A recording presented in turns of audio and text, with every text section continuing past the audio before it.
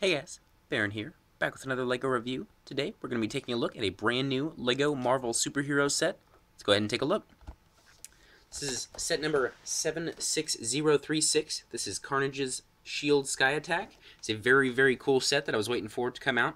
Um, looking forward to it. Actually, it was supposed to be out in uh, August, but I went to my local Toys R Us uh, yesterday, and uh, they had had a lot of the new stuff for uh, Friends, for Elves, and for um, for Marvel superheroes. Now they did not have the um, the new Star Wars sets, but we're actually going to get those on Force Friday, so we'll do a review on those in due time. But um, this is a set that I was actually really, really looking forward to getting uh, for a long time, mainly for the um, for the minifigure that we have of Carnage. There, a, uh, really, really cool print, and uh, we'll look at him here in a second. First off, uh, we'll take a look at the uh, minis that we get. Um, we get a really cool version of the Miles Morales Spider-Man costume here.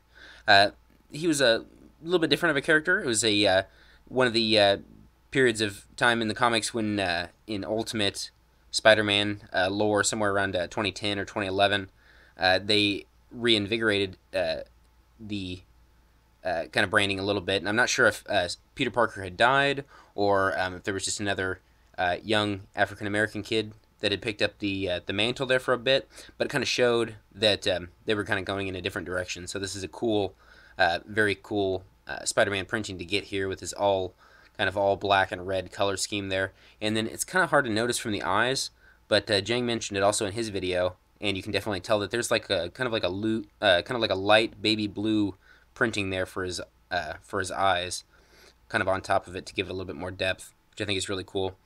Also, uh, printing on the back, got the little red spider there. Of course, his red hands, which is very, very neat. The uh, minifigure that I was most looking forward to getting was uh, Carnage here.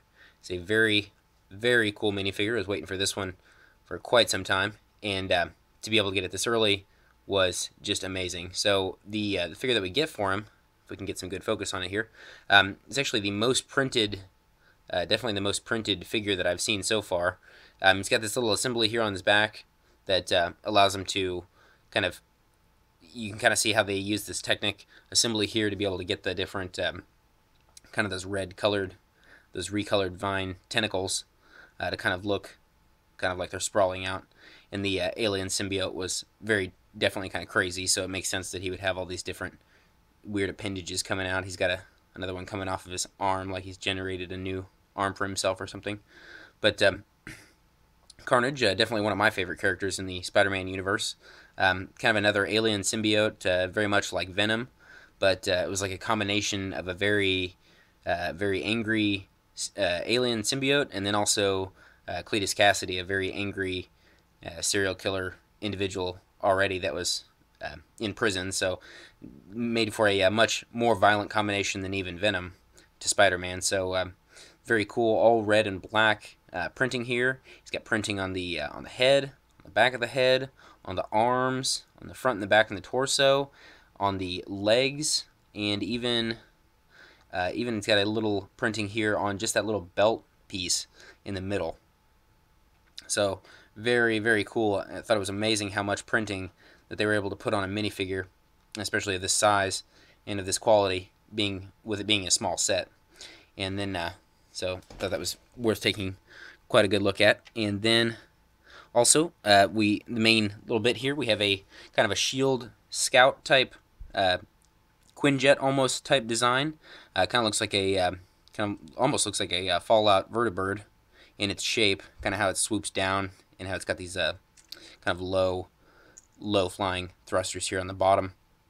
And then also in its uh, kind of Quinjet uh, kind of ability or, or that kind of shape and geometry it as well as, as it has that kind of fold down design and that the uh, wings are all ratcheted. Get some nice printed pieces and uh, there's also another couple of uh, stickered pieces. There's a sticker that I believe goes on the very front, a little small one that goes on the front of the windshield here and then also a shield logo here but I've just chosen to omit all the stickers off mine. I figured it kind of brings the look of the set down a little bit but um, that's just my opinion. Most people will probably want to see those on there. But uh, we get a nice, cool little uh, windscreen here. It's got a lot of uh, interesting little angles to it, and uh, as we can see, that uh, just connects there with the the standard kind of two clip design there. the uh, minifigure that we get is actually pretty interesting. It looks like um, now they haven't said anywhere in here, and they don't give you um, they don't give you any kind of uh, of brown hairpiece for it, but it almost looks like Phil Coulson. Now it's tough to get. I don't think we'll be able to get a good focus on it. There we go. But he's got a very happy kind of demeanor. Uh, he's got his blue and white uh, shield uniform, also uh, kind of kind of reminiscent of what we would have seen a classic comic book Nick Fury kind of looking like, and with this uh, black pilot's helmet on. It almost looks like a, uh, little Coulson minifigure there. Of course, I, I'm not sure if they've made one yet, but it's cool to imagine. And then uh, that would be the third minifigure that we get. And uh, at the uh, I think this is a $12.99 or $14.99 price point.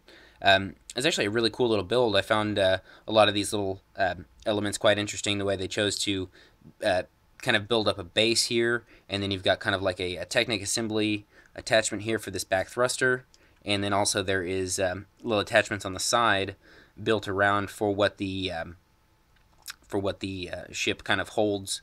Uh, there's a little bit of um, also detailing put into the fact that another thing that it holds it uh, is built also around a uh, kind of like one of those light gray, light bluish gray mailboxes, and uh, you can see a lot of um, detail went into making that kind of fit in with the whole design of how the ship is, and it doesn't look like it's too obvious or anything.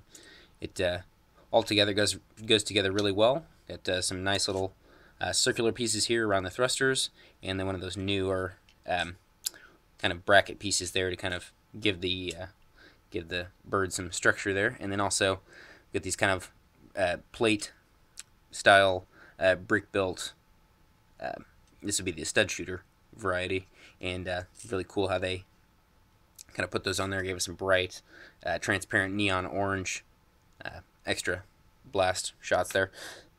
So, all in all, thought it was a really cool set. They also uh, give you a, um, they also give you a uh, super jumper for Spider-Man if you want to uh, go ahead and take out Carnage, or you could also give it to Carnage and make it look like he's kind of using his tentacles to be elevated off the ground.